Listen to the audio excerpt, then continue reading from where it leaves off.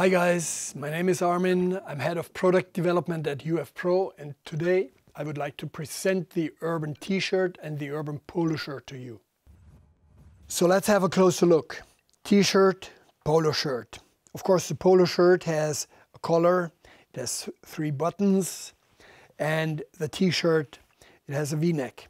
I think, and, and this is also what I would like to talk a little bit more about, I think that the most fantastic thing here in those two shirts is the material. My experience using 100% cotton uh, t-shirt or polo shirt is that if it's hot after an hour, the shirt is soaked wet and it sticks to your skin and it feels really uncomfortable. On the other hand, if I would have 100% polyester, uh, t-shirt then after it wouldn't it wouldn't stick after one hour it wouldn't stick after two or three hours but after three hours it would start usually already to smell unless there are some kind of uh, bacteria killers on it. But um, actually none of us would like to kill the bacteria that we have and which are causing the bad smell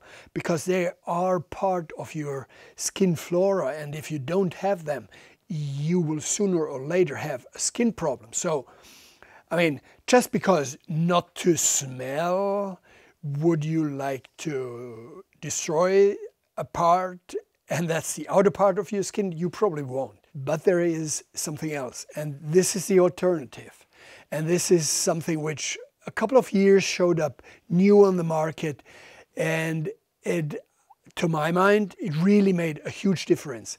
It is a material, it is a fiber which has incorporated minerals which make sure that the fiber dries much faster than any other fiber in the world. And um, due to the minerals, it encapsulates all the stinky, smelly stuff from your bacteria, so you don't have to kill them in order to avoid bad smell. And this fiber is called Cocona. Great name. They changed the name then after a couple of years into 37.5 by Cocona. I continue to call it Cocona best fiber and one of the outstanding innovations in textile industry.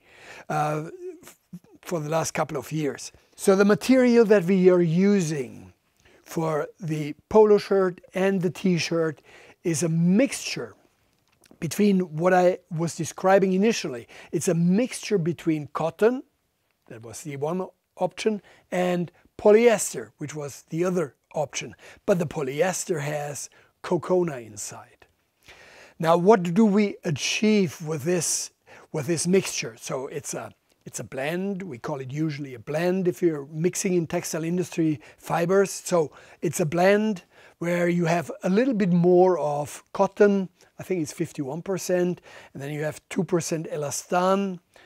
Um, and the rest of it is Cocona polyester fiber.